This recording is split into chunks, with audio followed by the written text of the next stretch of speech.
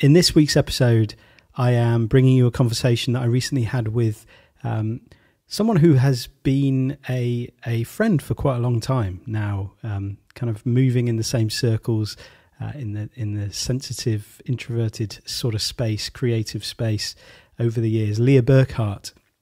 Uh, Leah is the founder of the Healthy Sensitive, where she shares her expertise as a certified health and wellness coach, nutritionist, and educator with sensitive people and creatively ambitious people. I really, really enjoyed our conversation and, and found a few topics that that we covered have really got my mind turning in the weeks since we spoke. Uh, not least the part about uh, balance and integration and boundaries and disintegration. There's something really, really powerful in that area of our discussion that feels important for us to think about and work through with ourselves and with one another as we kind of bring uh, more grace and compassion to the world um, and to our relationship with ourselves and with, with each other as we negotiate a, a society, a, a culture, a world that, that doesn't switch off and doesn't really want us to switch off either, but also on the same uh, coin blames us for a lack of good boundary setting when we work too hard and suffer from burnout. Uh, really, really interesting topic to think about, and one um, that I am probably going to come back to. I'm going to come back to him in the extended play episode connected to this podcast on Patreon, uh, as well as I'm sure it's going to be something that comes back again and again um, in in other things that I'm doing.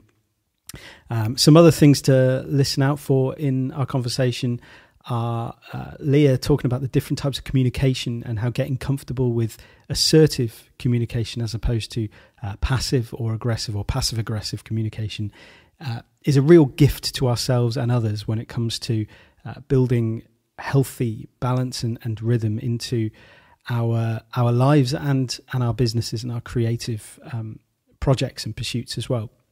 Also, the value of uh, mustering up the courage to be disliked. This is something that we've talked about um, a, a, few times over the years as well when it comes to making a stronger impact in supporting other people, uh, getting comfortable with the idea uh, that it's not all about people pleasing is a way to make a bigger impact in those in the lives of people that we may be distracted by the desire to please.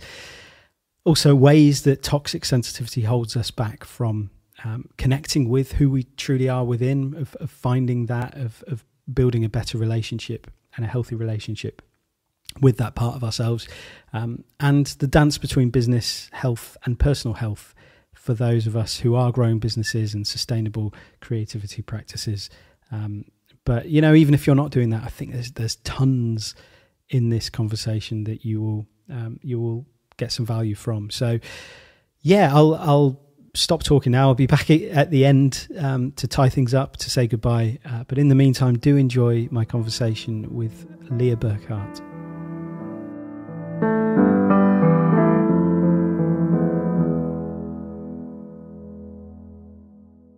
Leah, it is really lovely to be speaking with you again. Welcome back to the Gentle Rebel podcast. Thank you so much. It is so lovely to be speaking with you. I appreciate the time. It's great. Yeah, how have you been?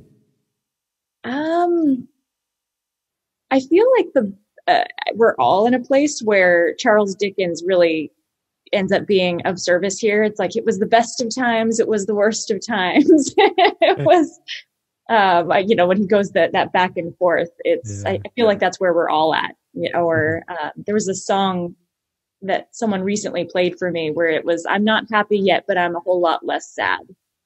Oh, that's nice. Uh, yeah. Yeah. So I feel like that's kind of what I, I better. I think ish. Good. Mm-hmm. Think maybe. We're all in a holding pattern. I like that. Yeah. Yeah. So well summarized. Yeah. Uh, what I mean, have you have you found anything has gone particularly well, or like has opened like the the whole last year has opened up any possibilities in some way for you? Yes. Um, you know, I, I'm sure you've heard this a lot from folks. I almost feel guilty. My life didn't change that much mm-hmm. as a result of the pandemic. I, I'm a pretty introverted person. I love people uh, and I love my people, you know, my people in my community. And also, I really love being able to go home and close the door and recharge. And, uh, you know, so in terms of things that changed in my life, there wasn't much, but I do think having a pass was really lovely.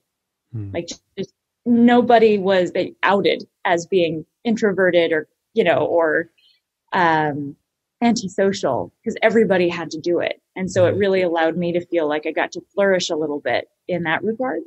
Yeah. And in terms of insights, though, I think the word that comes up is priorities. Right. Yeah. And what's uh, what was the kind of insight around priorities? um, you, I guess the word simplify comes up. I know we've talked before about minimalism, and you know, I, I'm definitely someone who feels the pull in two different directions. Um, there's I, the analogy I use is one part of me is a wolf howling at the moon. So ambitious, curious. I want growth. I want to try something new. And then there's another part of me that just wants to be slumbering under a willow tree somewhere. Mm.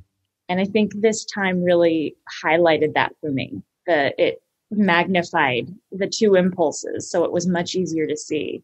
So I noticed, for example, I would go after virtual coaching positions that would be, you know, so that I could complement with my work that I do at the hospital. And then very quickly realized, what am I doing? Why am I adding more work during a time when, you know, the bandwidth is already so low?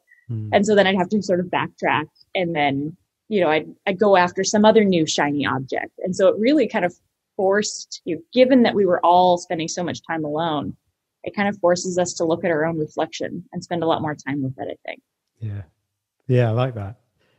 Yeah, I think the um definitely resonating with with what you said about that sort of um enforced or the, the kind of pass element of being able to just be yourself and not even f- feel the pressure to socialize or that that kind of sense of like I've got to balance my energy this week with like social engagements that maybe I've been invited to this and that and it's like no there's none of that it's it's really quite refreshing um, which now makes it slightly difficult or the, the challenge returns as as you know restrictions ease and and everything returns to some sense of normality whatever that kind of mm-hmm. means um, but yeah no I, I, and I, we'll get into some of the um, yeah those elements of i guess the as you're saying, almost like throwing your hook out and like pursuing those ambitious things and then realizing, oh, what am I doing? I've got already got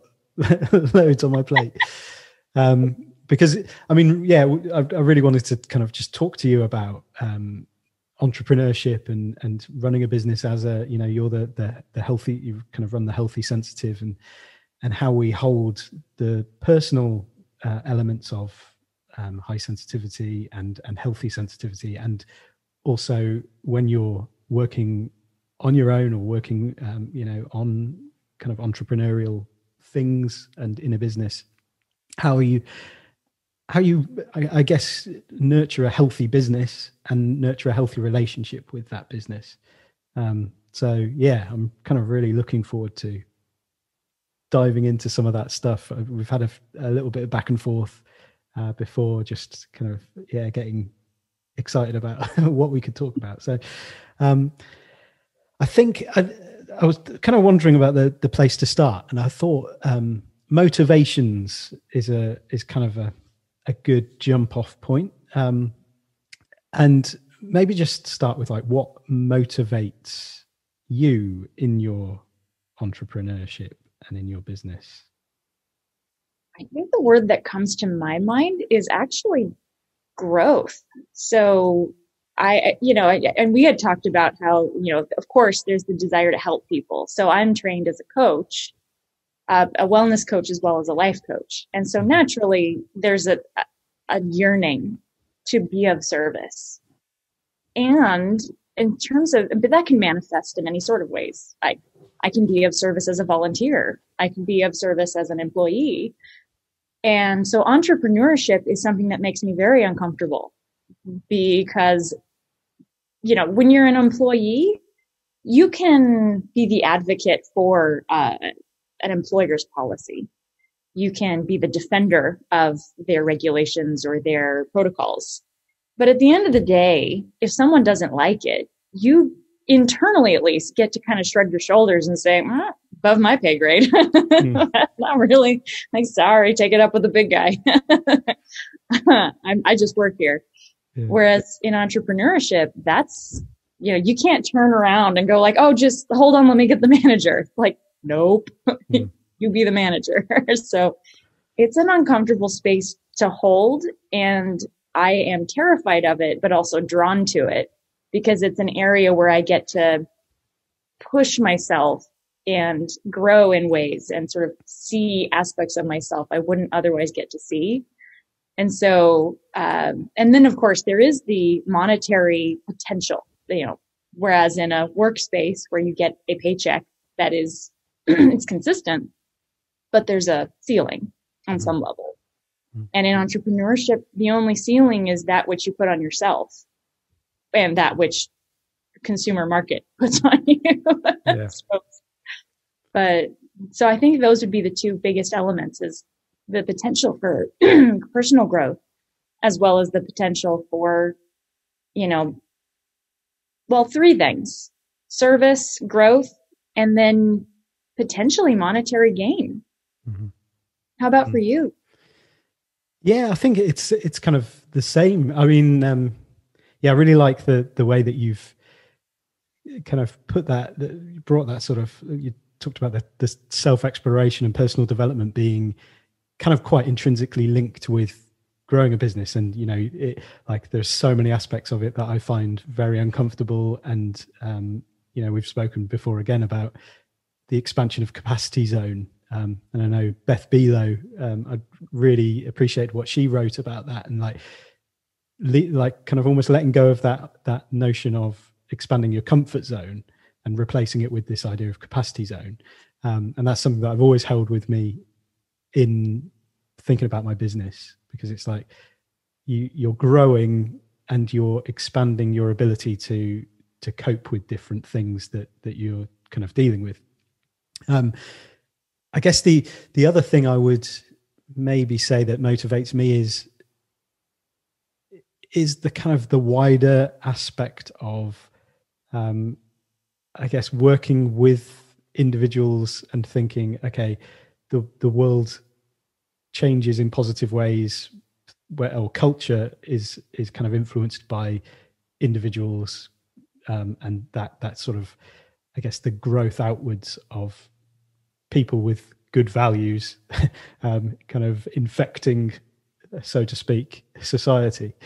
Um, so i think that is that's a, an element as well um, but definitely i think that the one that that i've worked with most for myself and often find myself working with other people on is the whole the self bit the personal motivation. So that the how is this actually going to help me create like design a life that I want to live uh, in that sort of sense of, and you talked about the monetary gain like that I think that's a hard part for people. Um yeah and it's I think it, it, it's easy to get it's easy to say like I'm doing it because I want to help people or because I want the world to be better or whatever. Um but there is also got to be that that other part the personal part. Why is it compelling to you personally? Yeah. Well and seeing monetary gain as a part of making it sustainable mm-hmm. you know and that's i can i'm nodding vigorously because that monetary part is rough for me because especially if you're at least in my experience entrepreneurs tend to go into areas that they're naturally inclined and interested in mm-hmm. so they might have a passion for making shoes like so you know like Bill, can't remember his last name, but uh, with Nike. Yeah. Uh, you know, like, there was some element of interest in that thing. And so there is uh, a tendency for folks in this, wherever they happen to go, whether it's I'm, I'm I love coaching, so I'm going to try and be my own coach, be an entrepreneurial coach. There's the a willingness, I'll guess I'll say, to do the work even if not getting paid. And in mm-hmm. fact, I've noted this with a number of entrepreneurs, even contractors, where it's like, man, I don't want to have to send you the invoice. I'm, I'd rather be working. like doing an invoice is 30 minutes that I have to take away from an area of my life I'd rather be putting my energy into. So I think there's that element too, where it's like people would be, even be willing to do some of this for free. And that's part of what may have drawn them into it. Yeah. And so then to hold up that boundary and say, no, but if I don't ask for payment at some point, this will not be sustainable. Like if I don't eat, there's no me to do the work. yeah. yeah. exactly. Exactly. That's really, that's, I'm just, just trying to think the, um, because there's that sort of cliche line, isn't there, of like, what would you do if money were no object, or you know, what would like, what would you do even if you weren't getting paid for it? Um, and it's almost the opposite of that, isn't it? Where you kind of, well, I'm doing it uh, despite the fact that I'm afraid of asking for money, or like I, I would, I am doing this anyway, um, and I suppose I do need to kind of get paid for it. Um, mm. Yeah, that that's interesting.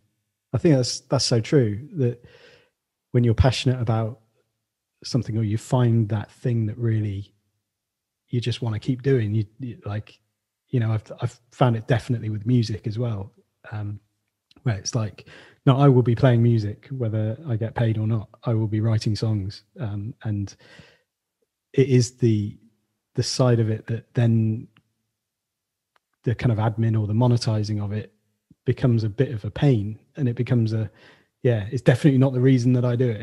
it yeah. just gets in the way. Yeah. Well, have you ever read uh, Elizabeth Gilbert's book, Big Magic? I have, yes. I, I remember her talking about a number of creatives who don't like what they have a day job or something that's bringing in the bacon. And then their creative enterprise isn't, at least at first, not the thing that people rely upon to pay the bills. And the impression I got from what she was writing is it almost puts too much pressure on this very uh, potentially fragile thing. You know, creativity can be fragile, especially when beginning the enterprise. Sort of mm-hmm. like when you grow a plant, you know, that little budding plant. You want to be careful. You don't want to send it into a hurricane. Yeah. And so knowing when it's robust enough to sort of say, okay, now I'm going to rely on this a little bit more to potentially be a source of income I'm sure there's there's a really good indicator somewhere, but I don't know what that magical switch point is. Like I don't know where that threshold is where it's okay, not good, not good, and now we're good. So and whether it's coaching or whether it's, you know, writing songs, that's a creative arena that you're occupying. So then I, I hear you 100% where it's like, I'd be doing this anyway. So how can I justify charging for it? Like, well, be, because food is great and I want to be eating it multiple times a day. And, yeah. you know, exactly. the and it's that sustainable thing as well, isn't it? Yeah. Exactly. Yeah. Yeah. It's like, it's, it's the way to ensure that you're going to be able to do more of it. Yeah. And have more time to do it as well. Yeah. Well, and I also am intrigued by the fact that I got, you know, the more and more you get into, you know, reading about entrepreneurship and from people who do it exceptionally well. And by that, I mean, particularly in the monetary realm. It's sort of, you know, there's, there are a, a number of people who are more willing to pay for a thing if it is more expensive, mm-hmm. which just boggles my mind. So it's almost as though when you as an individual come up and say, no, this is my value. This is what I'm worth. I know that what I have to offer is valuable enough that I have absolutely no qualms with charging this amount of money for it. Yeah. People can sometimes respond with, Oh, well, if you think it's that valuable, there's got to be some there there. So maybe I'm willing to fork up the cash versus if you say, no, no, no, it's fine. Um, you know, we'll work on it. Well, can, you know, whatever you can pay, it's almost, it almost puts the other person in sort of a position of, well, if even you don't think this is hmm. valuable, maybe this isn't a valuable expense of my time either. So never hmm. mind. It's it's, it's really yeah. It's a really interesting kind of psychological thing of because there's also the there's aspects around desire, isn't there, within that? Like and actually desire increases when there's more of a an obstacle to you getting the thing. So if if you're uh, so that might be a, a price tag on it. It might be, I don't know, all sorts of things, I suppose, like scarcity in terms of time. So, like I can so if I'm coaching, yes, I've got I've I can only coach this number of people at the moment, so I'll have to put you on a um, a waiting list, and as soon as it, a spot comes available, then then you're in, and then that suddenly becomes more desirable because it's not as easy to get hold of. Um, and I mean that can be manipulated, obviously, by by people who, you know, we see it all the time in the kind of I guess more toxic marketing strategies and stuff.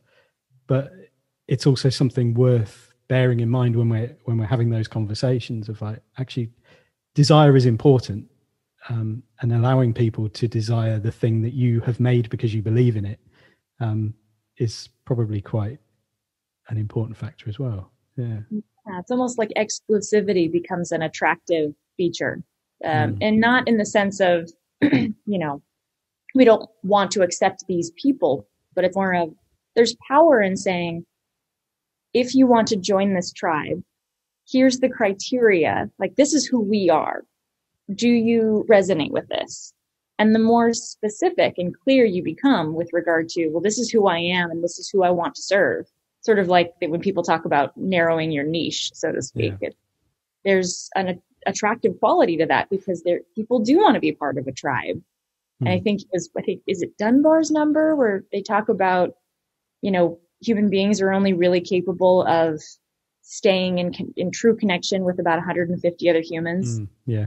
So there is a desire to feel like I'm a part of something. Like, ooh, this is, you know, oh yeah, I'm part of this club or I'm part of this thing. Mm. And I think when marketing is done well, that's what it provides for people is a sense of, oh, that's who you are. Me too. And I now yeah. want to join in that movement. Yeah. And then the thing that helps facilitate the joining might be the product that you're serving but and yes i agree with you sometimes it can be used in a really toxic way of oh you better hurry because you know get it while it's hot or mm. oh there's already been this much interest or there's only this much space um yeah it's very interesting. And there's mm. there's i think someone once said the the bigger the tool the greater the shadow. And that's definitely true with marketing. It can be a great tool but it's got a hefty shadow. That's nice. Yeah. Yeah i've not heard that before. That's good. Um, yeah, and I mean, this kind of I think leads us into boundaries quite um, effectively as well. You know, kind of we had a, a little in our back and forth, kind of talking about bringing boundaries into entrepreneurship and what that looks like. You know, you've got the I suppose two sides to it. There's the there is the kind of the charging part, the expectations between you uh, as um, you know entrepreneur and your clients like what are the expectations payments agreements that kind of stuff and then there's also personal boundaries for you like knowing when to stop when to rest you know again it's a a lifestyle that has it's kind of infinite there's always more to be done so it's how you get those boundaries in place um, and and what those boundaries look like i suppose so yeah what what kind of uh, thoughts have you got around the different boundaries we need?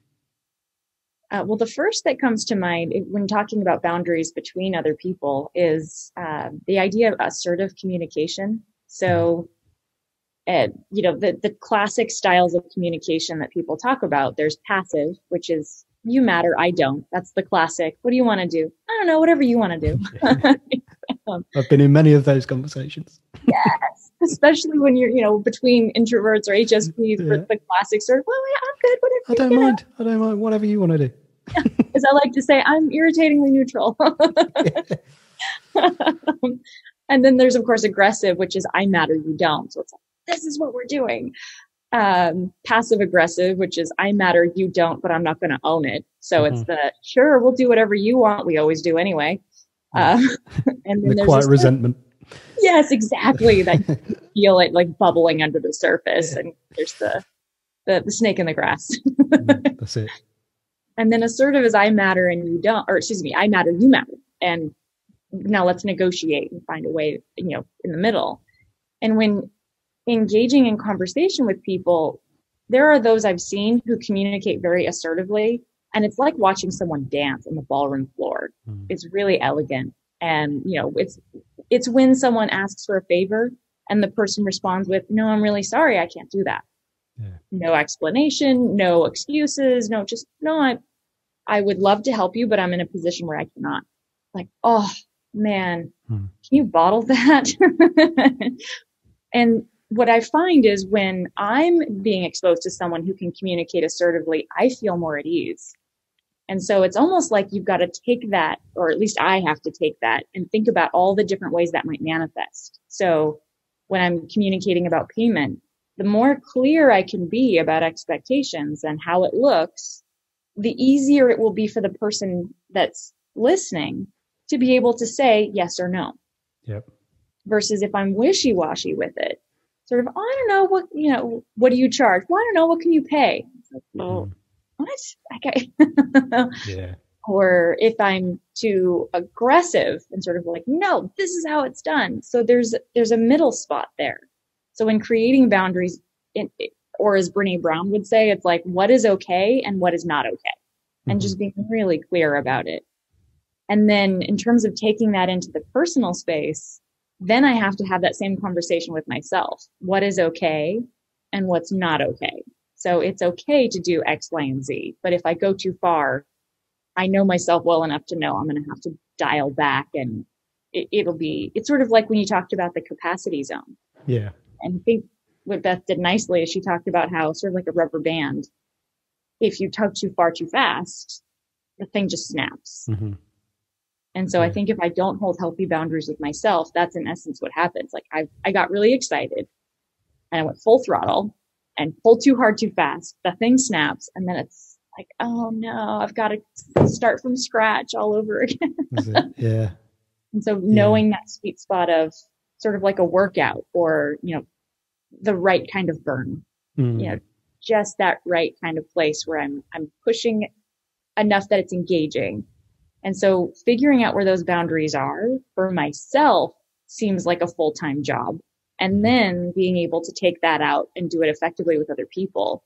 It's like, oh, that's for me at least where the work is. Some people are inherently fabulous at it, or at least they appear to be. And I am not. Yeah. I'm working on it.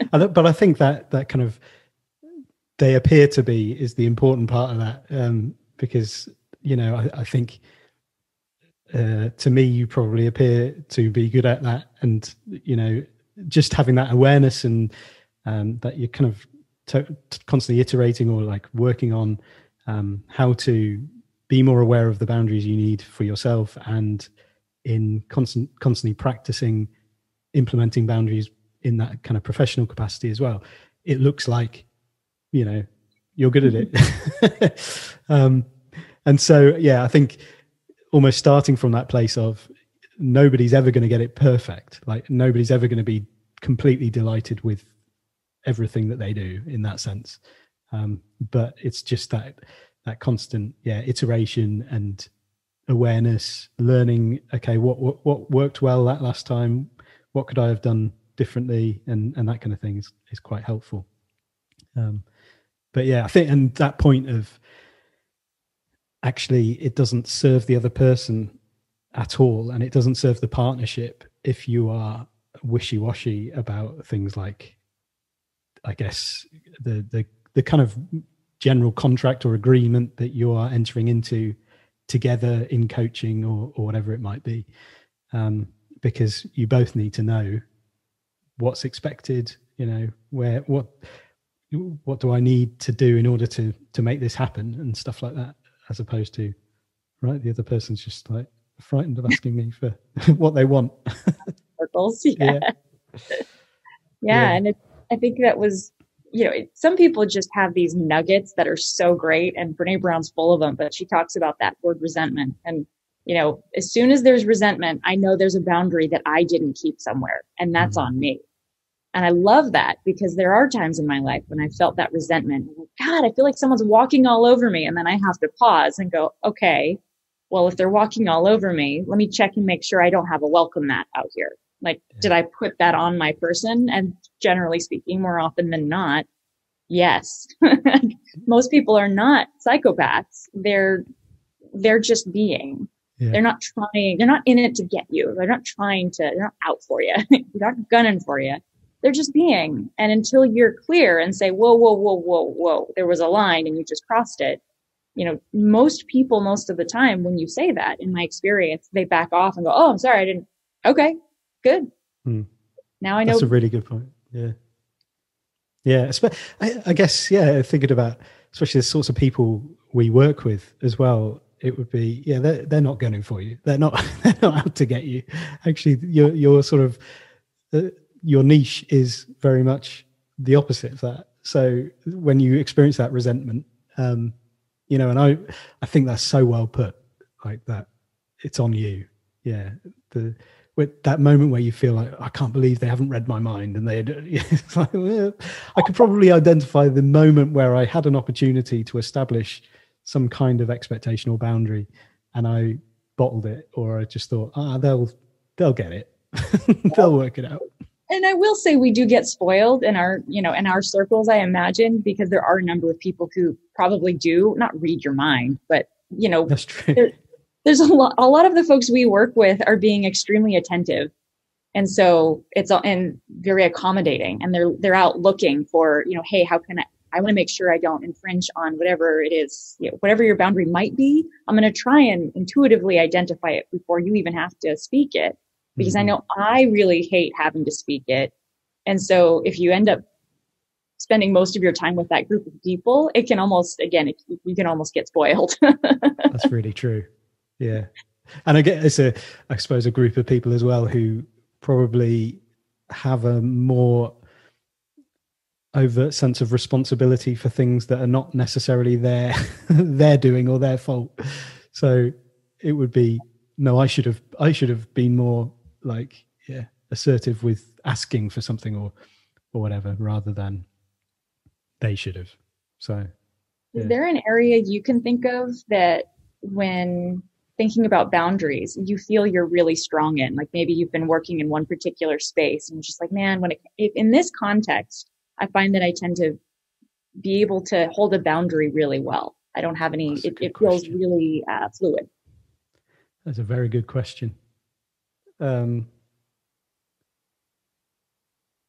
I d- I don't feel like I don't feel like there is like I'm sure I mean there are um but yeah, coming trying to, think of what that what they what they are is is quite.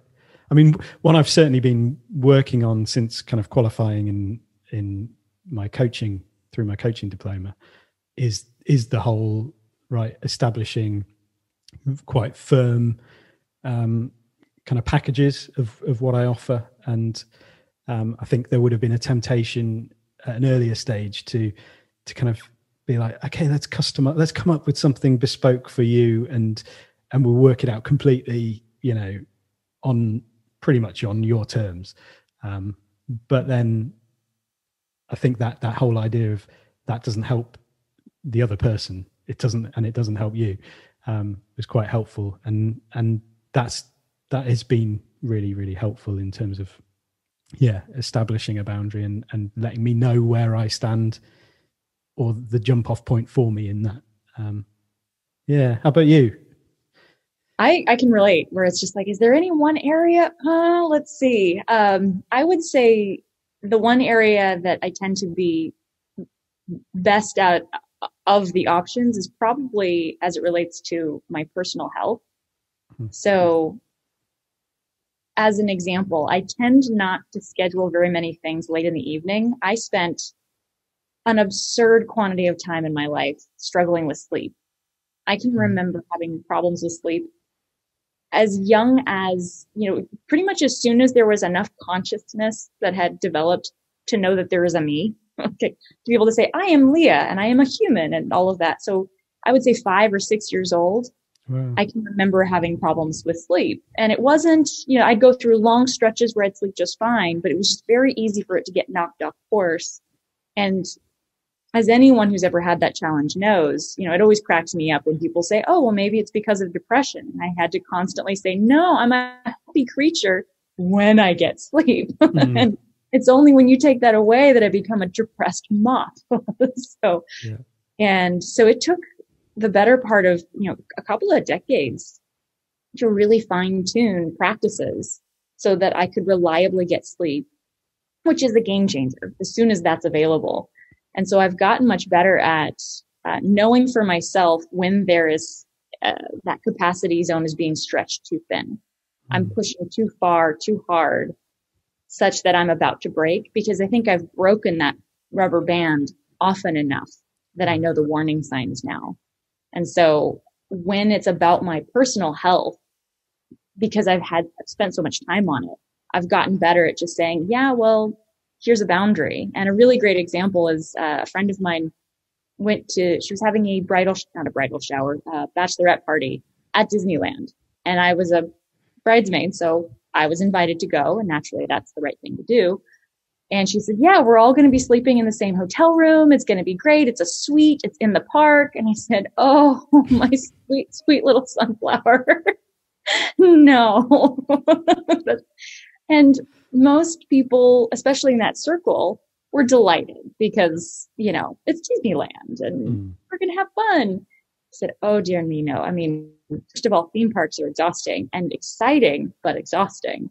And there's no chance I'm spending the night with six other humans and certainly not six other females. Like, no. Um, and it was hurtful mm. on some level for my friend to kind of hear, well, wait, you don't want to be a part of this?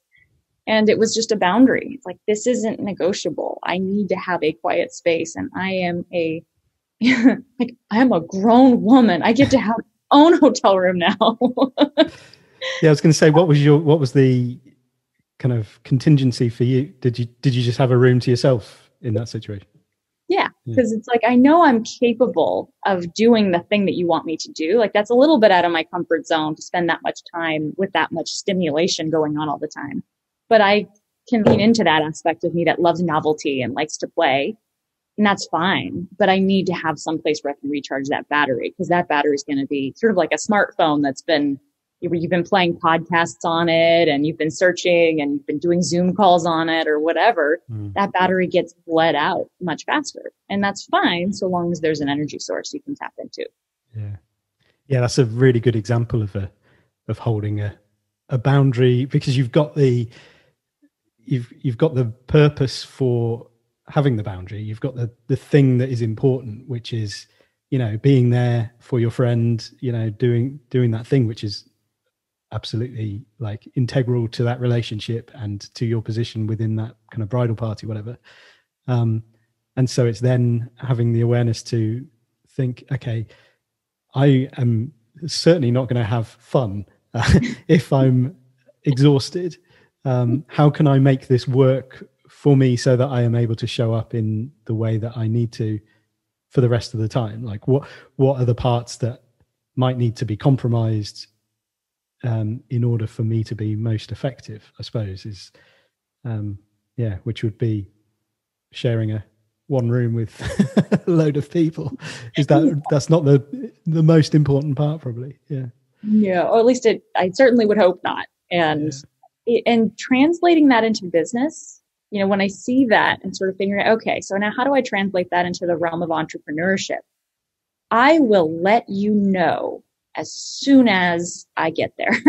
but it's, it is the challenge. So I absolutely hear you 100% when it's like I'm trying to create a coaching program and a package where it's very clear, it's easy to explain. So it would only take a, a short little snippet or soundbite to, to say, this is what I do and this is what it looks like. Mm-hmm. And then feel very solid about, and this is what it costs. Yeah. And then stop.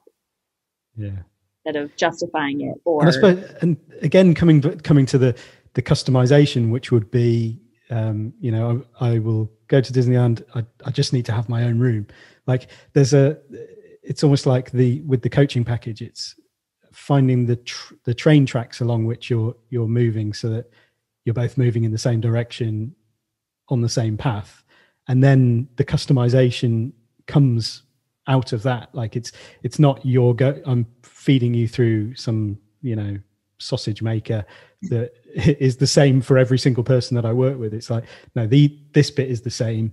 And then it's all completely bespoke um, from there. Um, the important bits are bespoke. These other bits are part of the package. Yeah they they help us get there yeah that is such a great point it's almost like you know, especially when thinking about creativity imagine if you get an art teacher who comes in and says just produce a thing i just want you to produce a creative thing it's like yeah. well, what do you, do you sculpture painting drawing I need more information yeah. versus when a teacher says, here's a blank piece of paper. You all have a eight and a half by 11 blank piece of paper. Uh, you have some paints in front of you and go ahead, go to town. Well, now, yeah, everyone's going to produce something very unique to them, but there's enough of a really clear frame mm-hmm. where it's, oh, okay, now I, now I know what we're doing here. We're good. Yeah. Versus, while it can sound enticing, like to just say, do whatever you want. We'll make it happen for you because you're a special little snowflake. It's like that. It's almost the paralysis of too many options. Yeah. Yeah, definitely. And I think you, you see a lot of businesses working that way of like, you know, customizing, say you customize a car, you've got the frame of you, you you have the car to start with don't you and then it's just the, some of the features that you get to customize um, and then if you really, really want to um, do things on your own terms, I'm sure you can spend a huge amount more money and get something else changed. But like, yeah, that that whole the whole th- like you're drawn towards it because it you know the fre- you know the shell of the thing, and that helps you as a customer um, have something to get the foothold in to start with. So yeah, I know from my perspective as a as a client or a customer, I like that when I'm working with other people. So, but, but that's a funny thing. Often, the thing I know I like when I'm working with other people, I forget when I'm then trying to sell something to someone else. Yeah. Yep. It's almost like I'm trying to to muster up the courage to be disliked.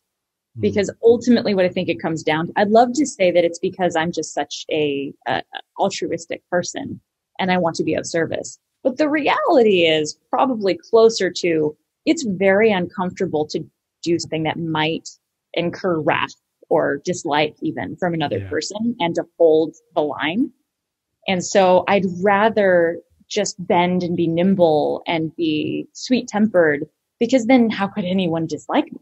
Mm. And so my desire to be liked now has superseded the comfort of the other person. And mm. so it, I can make a case for, well, it's just because I'm such a great person. I'm so sensitive and sweet and you just don't get me. It's like, oh no, no, I'm just, I, I'm just being kind of selfish. I want to be liked more than I want to help you. That's a good point. Yeah. And there's almost an element that you can, you can turn it around on them as well. like probably an unconscious, well, if you don't, if, if this hasn't worked for you, then that's your own fault because, you know, we did it on your terms. yep, exactly. And I, I, something I've, I've started to look into, especially with the group that, you know, again, when you say, if I say I generally work with highly sensitive people, especially those that are, you know, again, they're ambitious, but, and they want to go after their big dream, but also they don't want to exhaust themselves and figuring out what the sweet spot is. Um, you know, highly sensitive people in particular, I find, um, that, like I said, everything's got a shadow side. And the shadow side for myself that I've identified, I don't know if this is universal yet. Uh, I call it toxic sensitivity. um, but it's when either of these two things manifest. It's one, I'm sensitive and therefore I can't. So I'm mm-hmm. hiding behind a label and saying, see this label thing? I'm almost treating sensitivity like a diagnosis. Yeah. Or I'm sensitive and that makes me special and you just can't get it you know, mm-hmm. you're less than, oh, you're a non HSP, which even in the language of some of the books about it, like, oh, you're one of the non HSPs. You're a mm-hmm. normie. I get it. It's like, whoa. so anytime either of those two things start to surface, and it's not like I consciously say to myself, oh, I'm better than you. But if that sort of experience comes online within me, that's usually a sign for myself that it's like, uh oh, I better be careful here because I'm either hiding or I'm trying to say like, oh, oh, you just don't get me. Yeah. Nope. It's not their job to read my mind. It's my job to speak it. Yeah. Yeah. That is often the, the default response when something goes a little bit wrong. Well, you just obviously don't understand. You don't get me. You don't get me. You don't get what I'm really about here. exactly. It's like when you lose something, it's like, who took my keys? it's Yeah. like, oh, always someone else's fault. Yeah. Yeah. Yeah. Um, I, I really wanted to, yeah, get into the you kind of talked about sort of work life balance slash work life integration, which have become kind of obviously during the pandemic massive things with people working at home and um, I guess being on top of each other as well. Like you know, people might have been already working at home in in their business or whatever, and then suddenly they find a, a spouse partner is in that same environment. The kids are there, like everything. You know, you, there is no uh, distinguishing between work and life. Um, yeah, what what's kind of your take on all of that? I mean, there's definitely pros and cons. I I see the and there's almost, I've even heard people say they have a, a yearning for work life integration, and I feel like HSPs in particular have uh, a temperament that lends itself well to the potential for that. To you know, so as an example, I think this is part of why a lot of HSPs have a, they're drawn to entrepreneurship on some level because they're capable of being wildly productive. Mhm. And it's like when they get, you know, when their energy is high and they get a good idea and they're excited by it. I, I use the analogy of a smartphone all the time, you know, like a flip phone for those of us who even remember, you know, there's some youngins who don't even remember life with smartphones, Yeah. but you know, you could dang near like run over the thing and it would still function. I mean, it was, it was a beast, but it only had a certain amount of functionality. Whereas HSPs are sort of like smartphones. Like they've got a, a lot of functionality, but unlike the flip phone that you could leave uncharged for seven days or more, smartphone, you got to charge that sucker every day Mm. y- with no exception. Otherwise you just have the pilot dump. And so because of that, I feel like, you know, HSPs, if they have like a, work life integration model. uh, So it's like I can get up at 6 a.m. and if I have this burst of energy, I can knock out two hours and achieve that which the average person on the average day might have taken five hours to do. But then by 8 a.m., it's like, okay, well, I'm tired. I'm gonna, that, that, that was my burst of energy. I'm gonna go take a nap and then go for a walk and then maybe meditate and go to the gym. And then right around 12 p.m. or 1 p.m., it's like, well, now I'm, I'm feeling like I'm, I've got some energy back. Now I'm going to write some things or, you know, put something on social media and I'll do that for an hour or so and then leave and then come back. And so if there's a work life integration model, there's the ability to, to work in accordance with whenever their productivity is high. Their, like their, their capacity is high. Yeah. Um, but the downside of it is like the up, it's almost like this. The upside is you can work anytime, anywhere. So go for it. Hmm. Downside is you can work anytime, anywhere. So you better be always working. Hmm. And so I think it, the, the downside of that, it can be, well, if I can be working, I should be working. Yeah. Yeah, I think that is the that's a really good way of putting it. And that I think that downside part is probably where we get sort of drawn more towards, isn't it? Like the the idea of that work life integration and um, you know, the the kind of image of almost like an agricultural life, like working on a farm, you know, and and the rhythms of the rhythms through the seasons of life kind of comes to mind as a that would be like a, a lovely picture of work life integration. And you know you you get up and you do whatever you do early early in the morning like milk the cows or whatever. Um and then uh you know you you that that little chunk of work is done and you you have a, a rest period and whatever that rhythm might look like. You know obviously you'd be designing it for yourself. Um but that just does not that it does not really unless you're really good at kind of holding firm to boundaries in that way like that does not come to fruition because the temptation is always there. Because as we said earlier there is always more to do. Um, there's always something else you could post on social media. There's always someone else you could reach out to or engage with in some way. And yeah and and even if you're not doing that the kind of it's there in your mind. It's there in the back of your head like oh i could if i shouldn't be resting on the, there's other things i should be doing. Oh, and yeah. so yeah that's i think the um when I, I was kind of reflecting on what what we were sort of throwing back and forth, and um, the the phrase work life disintegration came into my head uh, when it came to uh, you kind of talked about whether you can go on vacation and you know like the the the fact that you've got your smartphone there and you can fire something off onto your uh, you know business instagram account or business facebook or whatever um, and and the fact that you're sharing the sharing of certain personal bits and bobs is a part of your so-called branding or whatever um, within your business. And and so that yeah i think that it's almost the disintegration of of boundary of the boundaries between things um, which can obviously have then an impact on other parts of your life, life like important relationships and things and and your ability to truly you know i miss the days of going on vacation and not just completely switching off not having any idea what the news was. Like i remember we used to go on holiday as kids two weeks. So we'd go from sort of england to france or whatever. Um, and you wouldn't see a newspaper. You wouldn't hear the radio. You wouldn't have any clue what's going on anywhere. And not only that that made the holiday feel a lot longer. It made it feel more refreshing.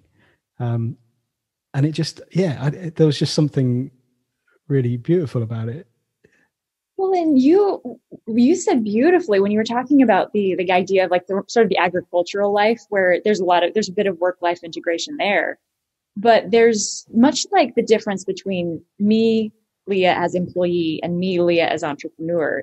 As an employee, there are boundaries that the institution I'm working within is holding up for me. Yeah. And I think that's probably true with agricultural life. Like the environment was holding up a boundary for them. You legitimately yes. can't do certain things once it gets dark. I mean, I suppose you could bring a flashlight and milk the cow at midnight if you were really ambitious, but and even then you have to adhere to the circadian rhythm of the cow. So mm it's almost like you don't have to.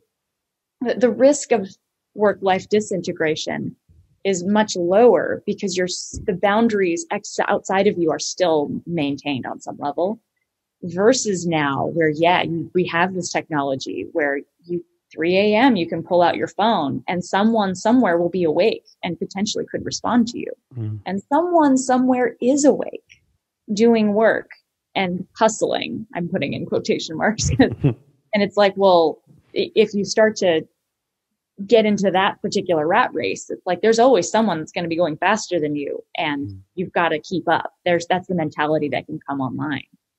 And yeah, it used to be when we go on vacation, there was an external boundary because you just legitimately didn't have access to your phone. Your phone is at home. You can't, and even if you had pull up your cell phone, if you left the country, your service may have disconnected. I mean, I remember I was what, 22, 23, and I traveled to Ireland for a holiday and I had a cell phone, but I couldn't use it as soon as I left the US. I mean, I suppose mm. I could have, but the service was just severed. Versus now, if I travel anywhere outside of the US, I could still access wireless and connect with people on Facebook. And so it really is all on us to create those boundaries. There's yeah. no, we can't lean on any external element. That's a really good point. Yeah. Yeah. I love how you've, you've put that with that sort of agricultural metaphor and, and then, yeah, that the fact that it's, it's all personal responsibility when it comes to creating boundaries and not only is it personal responsibility but on the flip side of that is this pressure to be hustling to be keeping up you know and that that constant anxiety that's just there about well if i if i like take my foot off the gas now i'm gonna fall behind and other people are gonna get ahead of me. And and that that combination is such a well a toxic recipe. Like yeah. And and the idea that because obviously there, there are apps and there are features in apps that allow you to you know turn them off or like you can put airplane mode on or whatever it is but it's always down to you it's always like your own like and you, you can't win because either you're expected to be turned on um, and like integrated into things or if you burn yourself out, people will be like, "Well, why did you allow yourself to do that?" Like, there's there are ways to, you know. didn't you didn't you watch that latest webinar on burnout and all and positive psychology and all the like? Didn't you see that latest TED talk that talked about how important it is not to burn yourself out? What's wrong with exactly, you? Exactly. Yeah. Oh man, I think I'm going to be uh, reflecting on this one quite a lot. That's really cool. Yeah, and I mean, I just got sort of a few minutes left, but I re- really wanted to just go into the uh, like we obviously talked about health and the idea of business health and how that relates to personal health. I, I think you you kind of asked the question of um, when uh, like when biz- when the business feels healthy, does that have an impact on our personal health? Um, and vice versa, I suppose. So, where do you see that as a thing that comes together? Currently, I hope this changes because um, uh, currently, as it stands, for me to get my business health, you know, sort of to feed the business health, I generally find that I'm having to give up some of my personal and physical health. Right. And so it's a it's sort of like looking at a balancing beam and there's business health on one side and there's my personal health on the other. And I'm just trying to balance the 2 mm-hmm. Uh, I know people though who say that their personal health improves alongside their business health, which I think is fabulous. Um, when I figure, when I hack that particular algorithm, I will let you know. yeah. um, but it's, and I think some of it has to do with the level of, um, beginner's mind I'm in as it relates to entrepreneurship. So it's almost it's sort of like that stages of uh, competence. So there's unconscious incompetence. I don't know what I don't know, and then conscious incompetence. At least I'm smart enough to know how dumb I am. and then there's conscious competence, and then unconscious competence. And maybe once you get so sort of into a groove with entrepreneurship, the two are complementary. Um, but I'm probably somewhere between conscious incompetence and conscious competence where it's like i'm smart enough to know get it i'm getting better at asking the right questions yeah. but that doesn't mean that it's just flowing mm-hmm. and um, so i don't know is it for you is it similar do you, do you is it a two things on a balancing beam or yeah, are they well, I, th- I was i just thought um i've had moments of, I, I guess it, it's almost like a not boom and bust but like ebbs and flows of um because i was just thinking when i launched my um, Return to Serenity Island course back in March. Like it had a really nice launch and things were going really, really well. And that gave me a boost in terms of like, yes, great. Like I'm, I'm almost kind of walking on sunshine, so to speak. And, and that really had a positive impact on my, on my personal health and, and just things felt lighter and I was able to like move along really nicely. Um, and then as that sort of tailed off, the the kind of stodginess returned a little bit, and and so it's it's almost like okay, I need to. There almost needs to be more of that balance beam where it's it's kind of oscillating in in a more healthy way rather than big highs and or or like I don't know boosts and then little crashes. Not that it's that extreme, like that comes across as like massive, but I at 100% get it. And I, there's, as you were speaking, I, there have been times in my life where I can identify with that, where it's, whether it's a class that I've designed and people have had positive results from it, or they, that people have come in, it's like, whew, there is a high. And yeah. so it's almost like what you're getting at the heart of is how do I fall so much in love with the process that the outcome has less and less of an impact one way or the other. It's like, yeah, if they, people love it and there's, and it, it's a great launch, then great. But that's not the thing that's riding the high. It's almost like the process itself and the work itself is so juicy that that's the thing feeding you as opposed to, no, I'm doing this thing and it's, it's requires energy. But man, when I see the outcome of it, it can sometimes give me a high. Yeah, that's uh, it. That's it. Yeah. Totally. Yeah yeah and I, I, guess to come sort of full circle to almost where we started is that that idea of sustainability again as well like comes to mind of the those those kinds of i guess those ebbs and flows that come through if you're launching things and um, you know however you sort of work whatever your business model is. Like for me it's probably going to be that sort of yeah thing there's moments of launch and um, and then moments where that tails off but if that's kind of moving i guess nicely sort of oscillating through that then enables the sustainability of I guess the rhythms of of the work, the, the kind of general day to day work. So everything has a has a nice sustainable rhythm um, in conjunction with that awareness that we've talked about of of the boundaries that we need and and ensuring that yeah it's not work you know burn the candle at both ends to keep the candle burning i mean maybe it's sort of like going to the gym and working out you know it, it's at first, every time you go to the gym is legitimately painful and just burns energy. Yeah. And you know that at some point it's going to feel great. And then there's a, a, a threshold that's breached where suddenly going to the gym have pull and you don't actually care. It's sort of like when you're like, if you're trying to lose weight as an example. Oh, I got on the scale and it felt really good because I'm losing weight. And so that gives me even more energy to keep doing the thing. That's it. Yeah. But at a certain point, there's almost this threshold that gets breached where the exercise itself becomes the reward mm-hmm. and the weight is almost superfluous. It's just like, I don't really care that much what happened to the scale. I'm just in it for the high of the doing itself. And just like you're talking about sustainability, that doesn't mean there's ever a point where you should go four or five hours, unless you're an Olympian. But, you know, if you go to the gym and just really crush your body to smithereens, it's still going to be unhealthy. Yeah. Uh, but if you can find that balance, that becomes a source of energy in and of itself, irrespective of what happens as a result.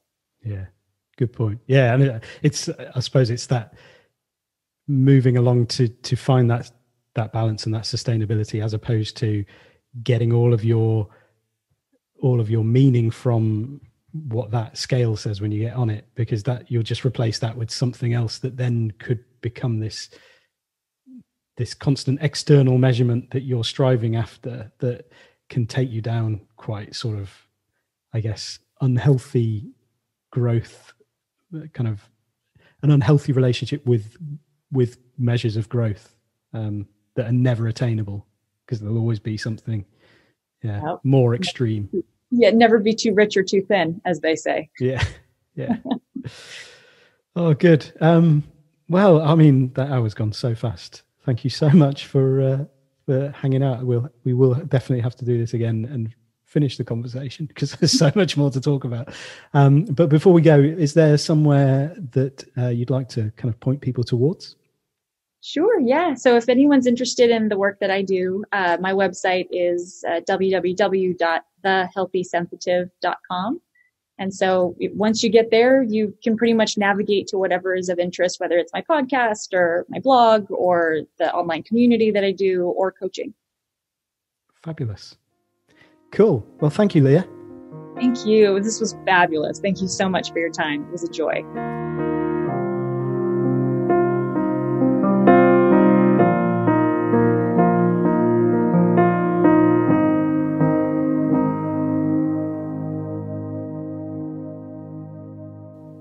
So there we go. A massive thank you to Leah for that conversation. It's, it's always such a joy to speak uh, to speak with Leah Burkhart, and, and I hope that that joy found its way to you as well. There's something about the conversation just sort of flows and um, the exploration of, of different things, things that were not on my list of uh, topics to talk about. But yeah, it, it, was a really fascinating discussion, and one, as I say, I've been kind of ruminating on many facets of it uh, since we recorded it. Um, and when I went back through to edit it, um, not that it, it, didn't actually need much editing, but I made sort of four or five pages of, of notes to uh, to reflect on. Um, and that idea of external limitations and restrictions was was something that I've, I think I found particularly fascinating. You know, that idea that um, there are things. Uh, that, things that we would have had, you know, in, in years gone by that would enable us to stop um, external things that mean that we cannot physically do anymore and how technology is now making it possible to do more and more and to engage with that sense that there is always an opportunity to add a little bit extra. Um, and how that can be a positive thing in some respects, but it can also be a source of great um, overwhelm and potential burnout as well, because that nagging feeling that oh, I'm missing out or there's something else that I should be doing. And then the flip side of that, um, which is the sense that boundaries have to be implemented through personal responsibility. So it's up to us to to put those limits in place for ourselves. Um, and when you've got that message of um, there's always more to be doing, there's always you know like success is dependent on your hard work and all of those messages. On the flip side of that, the idea of your own health is your responsibility. You need to make sure that you've got solid boundaries in place in order not to burn out and, and to get completely overwhelmed. Like those two things, it's a it's a very fine tightrope. And I think, yeah, like being aware of that tension and being aware of that pressure um, is really important for ourselves and also in the way that we hold one another. Um, and yeah, in a sense, hold that the feeling of of competition and so many of the you know we when we compare ourselves with one another like there are so many ways that we get caught up in that in that endless treadmill of trying to keep up and perpetuating that the the kind of the speed and the momentum of that um, and the perception that you know if I stop then everyone else will get ahead of me but in not stopping, in not being healthy uh, in the way that we put boundaries into our own lives, we're actually perpetuating it by giving the perception to other people that they need to keep up with us. Um, and so, you know, this is not something that I've yet come up with any solid, um, solid sort of answers for because I, I'm not satisfied with the suggestion that it is a purely personal responsibility thing because I think that is unfair. I think it's a it's a pressure that we put on ourselves or put onto other people um, that is not looking at the source of the of the problem. It's not looking at the true source of the solution either. I don't think personal responsibility is a satisfactory solution to this whole thing. Um, but yeah, I don't, I don't know what the right answer is. I'm actually going to hop onto Patreon and, and kind of expand a little bit more on this. Um, so, yeah, and and uh, there's a couple of other parts of our conversation that I'd love to expand on as well. Um, so, yeah, uh, basically, what I do on Patreon is I share um, all sorts of things. If you want more songs, personal stories, unscripted, um, philosophical fun and nonsense, then patreon.com forward slash Andy Mort to get access to all of the extra stuff that I put out on the uh, the private podcast feed there, um, plus other bonus treats, new music, conversations about creativity, about life, about uh, challenges that we are facing in the world right now uh, together, um, maybe, and and things like this, which I think is one of the challenges that we're facing in the world right now. Um, and and so yeah, it's my hope through that, um, well, through this podcast and through the private um, podcast that you'll feel a bit more connected to me, uh, a bit more connected to other people there, um, and and just less alone in some way. I can't promise uh, solid answers to things, but I think you know most of this is just about talking about stuff. Like it's about you know acknowledging the, I guess the the fears and the the feelings and the anxieties that come with the stuff that we we uh, chatted about in that interview, um, and just acknowledging the fact that this is a shared experience, it's a shared feeling, um, and yeah, hopefully that makes you feel less alone in some way. So yeah, patreon.com forward slash Andy Mort for more information about uh, about the private podcast extended play. Um, there. Okay, I think that is all I have to say this week. Um, so, just leaves me to uh, say that I'll be back again next time with another episode of the Gentle Rebel podcast. Until then, do remember that you are an artist, that the world needs your art. Now go and make somebody's day. Bye bye.